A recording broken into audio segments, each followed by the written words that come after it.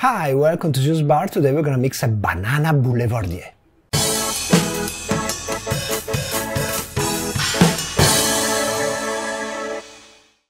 So the banana boulevardier is a weird combination. I found it on Difford's Guide. It was created sometimes 2016 at the Anvil and Refuge Bar in Houston. And the impulse to experiment with banana cocktail came from me finding this bottle in my father's bar. But I will tell you more about this bottle later on. Now let's get down to mixing. So I'm gonna build our cocktail in this mixing glass. I'm gonna start with 15 milliliters of creme de banane.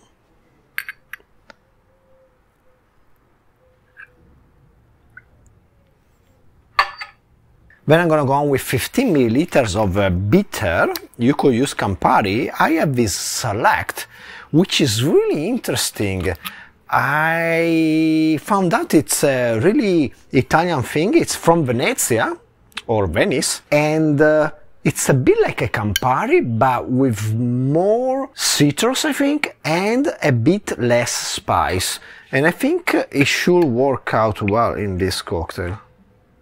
So 15 milliliters of this.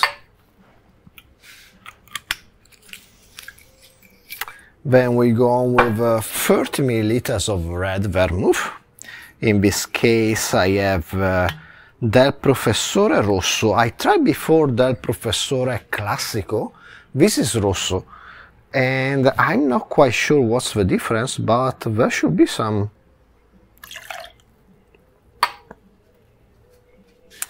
And then we finish with 30 milliliters of bourbon. I have this uh, Bulleit bourbon, which uh, I don't have in Japan. It's uh, really good. We tried classic Kentucky straight bourbon, vanilla, spices, your usual affair, but done well. It's pretty good. It comes at how many percentage of alcohol? 45% straight bourbon whiskey. Let's add some ice in our mixing vessel.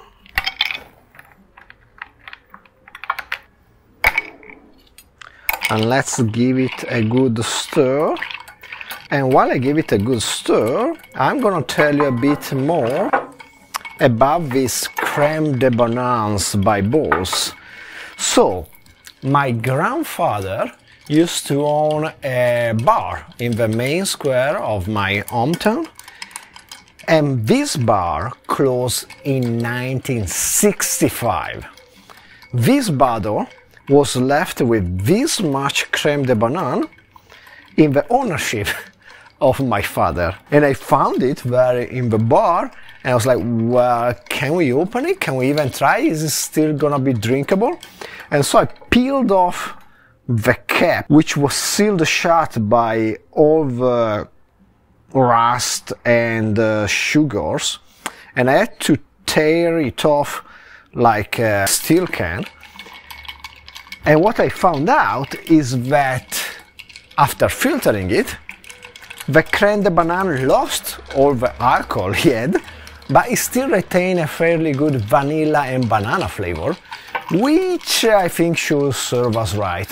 Creme de banane might be at the bottom of the priority from my bar right now, so I think uh, this should work out just fine for us to try out this interesting cocktail. Mm. So I'm gonna add some rice in this uh, old-fashioned kind of glass. Yeah, something like that. Let's strain our cocktail over ice. I should really finish this with some orange peel, but guess what? My mom used the orange yesterday afternoon, so I guess I'm gonna just go ahead and use a lemon peel. That smells pretty good. Maybe not perfectly appropriate, but I guess it's gonna work out. And there you go, banana boulevardier done with some almost 60 year old creme de banane, which probably lost all the alcohol, but I think, uh, let's see. Nothing on the smell, just the lemon. Let's see on the taste.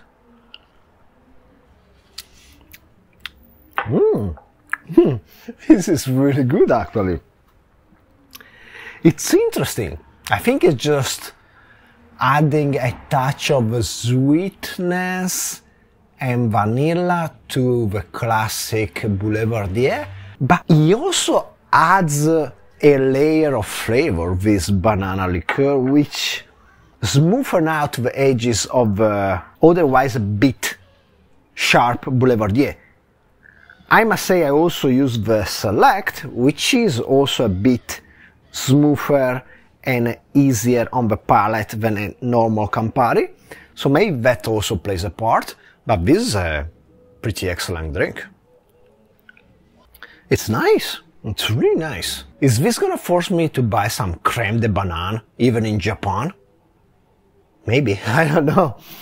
Anyway, I hope you enjoyed this video. Please like, subscribe, comment down below. Everything you wanna do, do it. And hopefully, I will see you next time. Cheers.